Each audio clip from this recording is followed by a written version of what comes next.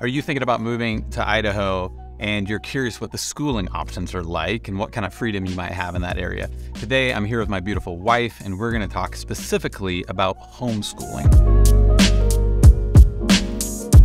Hey guys, if this is your first time to the channel, thank you so much for being here. I really appreciate it. If you want to learn more about Boise and the housing market and what it's like to eat, sleep, and live here, then be sure to subscribe because that's all I do is make content around that for you guys to help you decide if Boise or Idaho is going to be the right place for you to relocate as you're looking at all the options across the US. And today, if you're watching this video, that means you're interested in schooling options and possibly specifically homeschooling option. So I'm going to have an open conversation with my wife because she is way more of an expert on that than me with our four kids. What do you think about when you think about homeschooling overall in Idaho? Yeah, I think overall, I mean, depending on what state you're moving from, some states have a lot of restrictions over homeschooling. Idaho is a very free state to homeschool in. So you don't even have to tell the state you're homeschooling. You don't have to submit anything to the state. Like they have no oversight over your kids if you don't want them to. There are avenues you can take where you gain a little bit from the state, like funding towards things, and then you do give them a little oversight within that. But as an overarching principle in Idaho,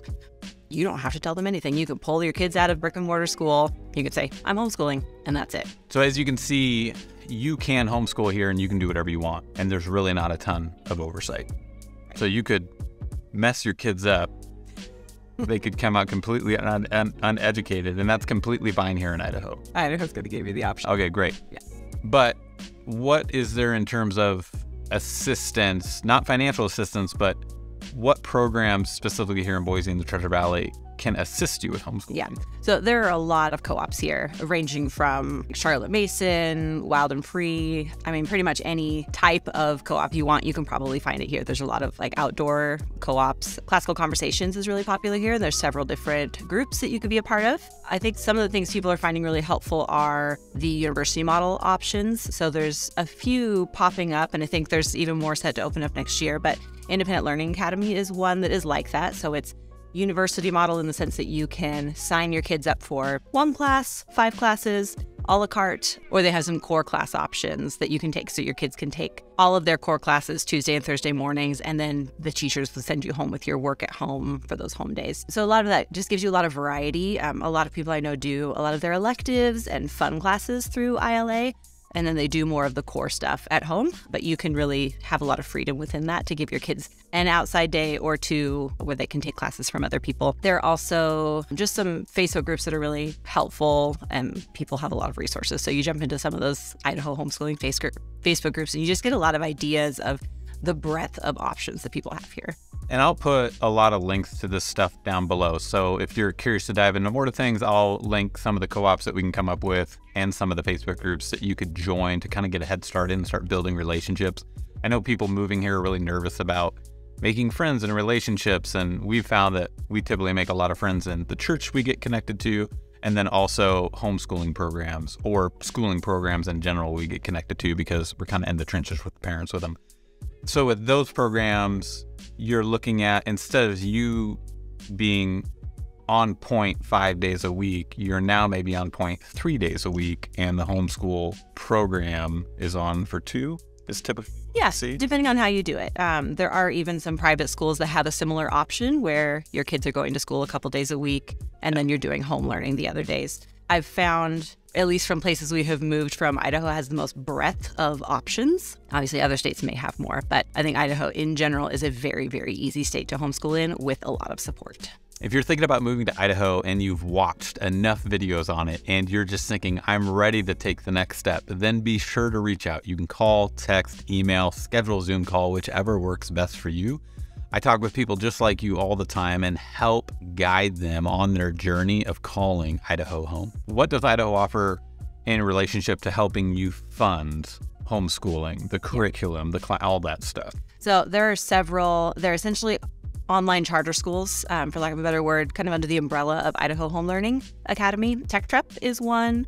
Overture Learning is another. Oh, I'm blanking on the third one. I'll add a list down yeah. below, even though we keep pulling up on the spot. so we have used TechTrep in the past, though now we're with Overture. Overture.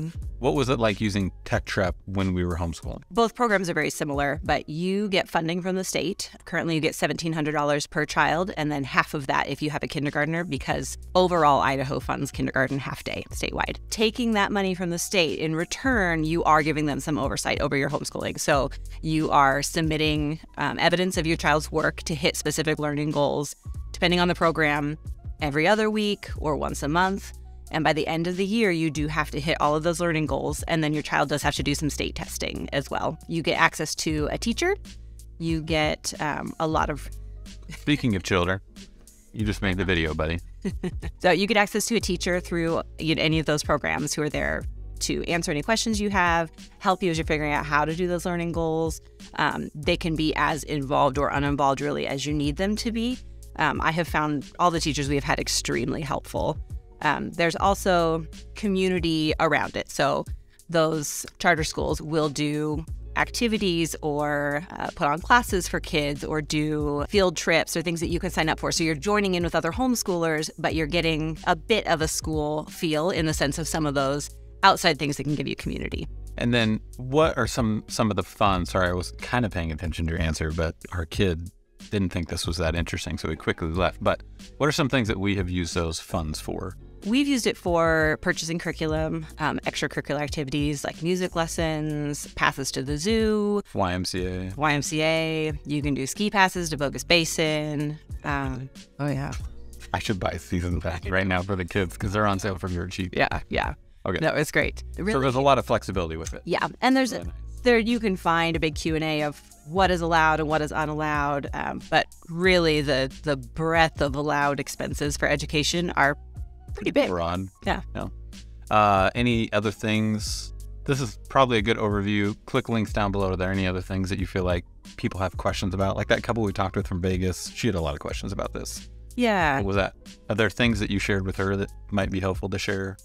Yeah, potentially. I mean, I think some people, I believe other states that have more oversight over things. I've heard of some states that even require vaccinations to be able to homeschool because they give a lot more oversight over those things. And Idaho's not like that. You can do whatever you want in I know I know some of you are moving here because you're you're sick of that overreach Yeah. and things like that. Or yeah. So, just as an aside, Idaho does offer all the exemptions for vaccines. So, you have a religious exemption or a medical exemption or a, um, oh, I'm blanking on the no last pressure. No pressure. You have you have Whatever the other one is. exemptions. exemptions. You have all the exemptions. So hopefully you guys found this helpful. I want to thank my wife for coming in and having our kids sit in the hallway while we're doing this. If you guys like this video, be sure to like, subscribe, hit the bell if you want to be notified of more videos like this that I post each week. Just so you guys know, in the future I will be putting out more videos on charter options, uh, private schools, and public schools. But hopefully if you're considering this, you found this helpful as you're considering homeschooling. With that being said, thank you guys so much for watching this. We truly appreciate it.